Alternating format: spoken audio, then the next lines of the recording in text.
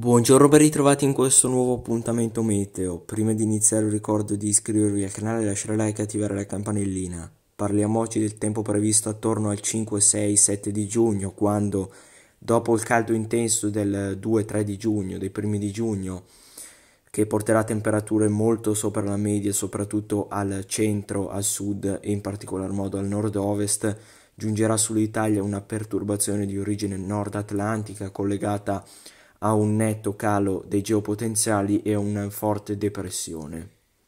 Infatti avremo un'entrata della termica più 12 più 13 al nord-est e uno scorrimento di aria più fresca su buona parte dell'Italia.